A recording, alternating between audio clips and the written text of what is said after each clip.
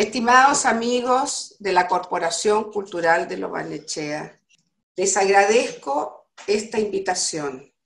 Como presidenta de la Fundación Sergio Castillo, les enviamos nosotros también un gran saludo. Lo que les puedo decir es que Sergio Castillo está en este momento feliz escuchando vuestro cariño, porque sé que Banechea le abrió las puertas y se hizo aquella escultura fantástica que se llama La Puerta de la Percepción, que quedó abierta no solo para los habitantes de Lobanechea, sino también para todas las personas que pasan por allá. O sea, Sergio Castillo está presente eternamente, espero, en Lobanechea. Ustedes me pidieron que yo les hablara un poco de Sergio, lo voy a hacer a través de un, texto que yo escribí el 2015. Sergio Castillo pertenece a esos pocos privilegiados que nacen con el don de la creatividad. En su camino se le, se le, cruzó ese maravilloso metal llamado fierro o hierro o acero. Fue un amor a primera vista, pero a pesar que a veces los engañó con otros metales, siempre volvió a su primer gran amor. Con él hizo su primera escultura en 1957 y la última el día que murió, el 19 de agosto del 2010. Como escultor rebelde, quiso dominarlo, pero el fierro no lo permitió ya, que que él tiene sus leyes y hay que respetarlas. El artista cedió y aceptó que el metal fuera su maestro y amigo. Él guió su mano y corazón, le enseñó a bailar con esa música maravillosa del martillo, la soldadura y la pulidora.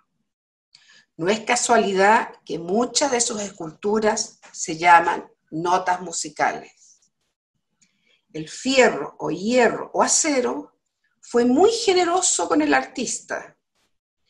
Le enseñó a hacer animales, a desahogar sus penas por la injusticia o contarnos sus fantasías eróticas, pero sobre todo a desarrollar ese don de monumentalidad en sus obras abstractas.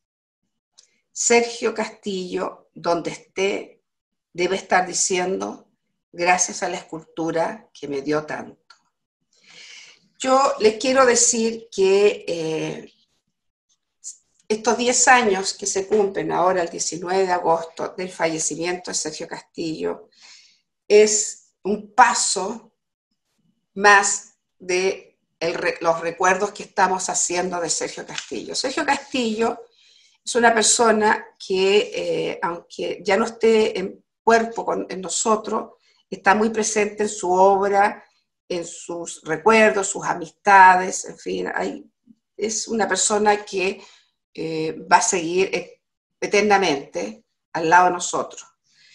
Y les quiero decir que él siempre, siempre eh, va a estar al lado porque el, el, material que él trabajó, que es el acero, es un material vivo que deja mucha energía.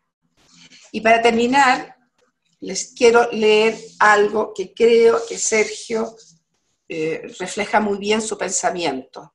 O sea, él se está despidiendo.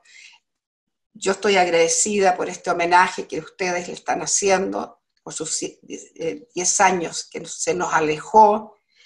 Sergio escribió el año 2008 la siguiente frase. Poesía dura, material. Libertad de poder haber vivido haciendo lo que más me ha gustado en la vida. Si volviera a nacer, sería nuevamente escultor. La escultura es para mí la vida misma. Sergio Castillo, 2008. Estimados amigos de la Corporación Cultural de Banechea, es, no es un adiós, es un mientras tanto, porque nos vamos a seguir viendo mucho tiempo más. Y muchas gracias y adiós.